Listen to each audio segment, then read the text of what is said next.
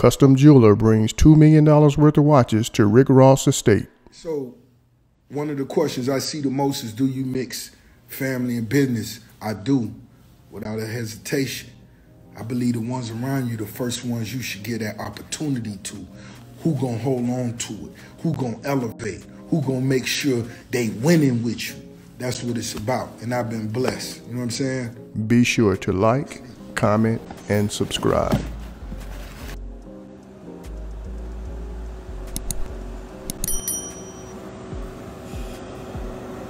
Ladies and gentlemen, what we have right now is a presentation of an extremely rare, extremely rare. Matter of fact, I'm gonna let my brothers do the presentation. Bobara. This is an RM11 with the Sapphire. What is it? Five made in the world? One out of five. One out of five.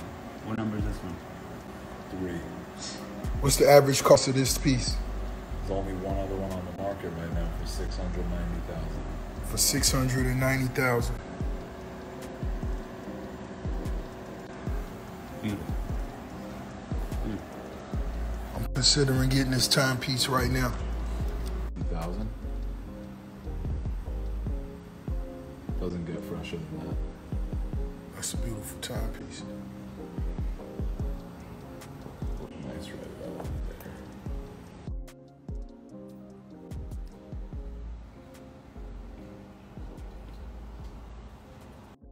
Right now, you're looking at two million in watches. Mm. They truly priceless. We're gonna have a toast to one of these. Stay tuned. This is the fucking title that comes with the fucking watch. Ha ha!